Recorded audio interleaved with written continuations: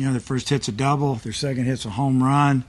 Uh, you know, we pull him after eight innings, and uh, he was in the 90s. Uh, we we really felt like we needed to get him. He's going to pitch next week on short rest, going next Thursday. I mean, there's a lot going through your head as a coach. You know, you, you feel like he deserves to try to finish, but then again, we leave him out there and they tie it, and we think, you know, we leave our guy in the bullpen, and, and then when they score, you wish you'd have left them in. It's just the way the game works, you know. Yeah, you know, and, and they do a good job against lefties, and the numbers show that, but you still got to go with the guys that have that have done it all year, and that's Mike Gunn. He's left-handed. He's got a good arm. He's fresh, and uh, it didn't happen, but you know the deep, but the offense picked him up. I mean, Bernal fouls off a one-two pitch, goes to two-two, and he gets just enough to get a single. Nice bunt, and uh, you know Joe Joe gets two breaking balls in a row. First one's a strike, second one's a strike, and he went down and just did what you're supposed to do with the breaking ball, and that's hit it right back where it came from. Don't try to pull it; just hit it back through the middle. Um, you know, with Bratson in center, he's got a great arm. He can really run.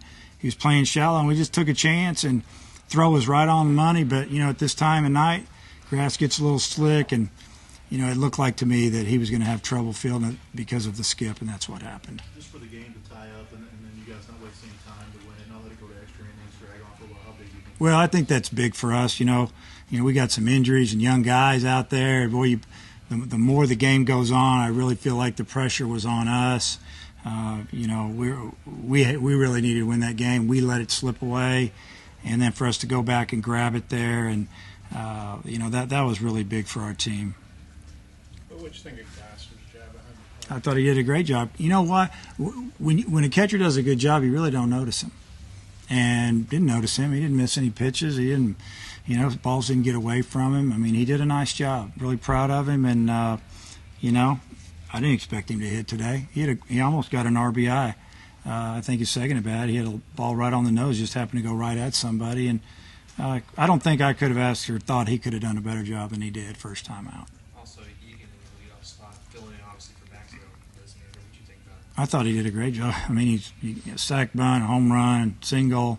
I think he stole a base, um, battled, and uh, you know just did a tremendous job. They're just trying to make sure that we weren't too hot, top heavy, bottom, you know, and, and you know we scored just enough to win. But he did a tremendous job. We left a lot of runners out there.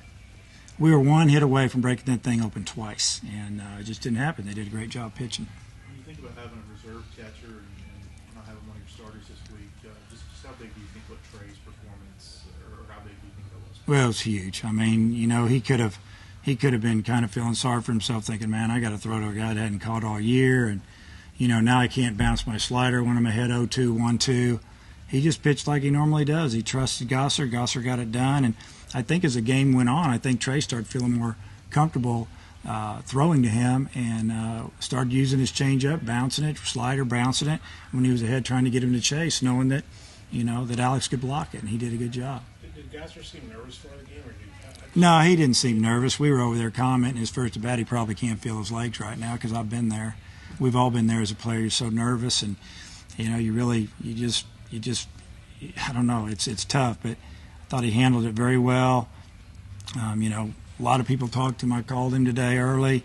You know, I know Jake's talked with him. Coach Flanders has been working with him, and I think I think he um, he did a good job. He just did a good job. Speaking of Jake, is he going to undergo more tests? Yeah, we'll know tomorrow if he can go tomorrow. Um, if he can't, hey, we we got a guy. So, you know, hey, sometimes things happen for a reason. If Jake's ready to go, he'll go. But if he's not, you know, Alex will go. And uh, you know, if even if Jake can go and it doesn't doesn't go real good for him, I know I got another guy I can put in there. You know, if you notice the fans, they, they the. They recognized it. I appreciate that. I know he did too.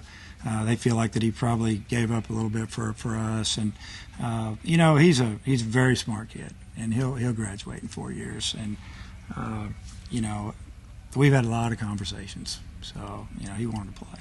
You made that comment having one on fireworks night in, in a long It was Jake Grand Slam. Um, but, but those have been really big games, really big series a lot of times. To get that first win in a, in a series like that for the first time in a long time, I mean, just how big is that? Well, I mean, it was huge. I mean, the A and M has been hot, and they've been winning those games. And uh, you know, they had ninth inning when they were rallying. They probably thought, "Here we go, man. We're going to win it again," because they've been doing it. And uh, You know, that was a huge out, uh, you know, for Gunn to get Giddy in there and uh, get us in the dugout and give us a chance.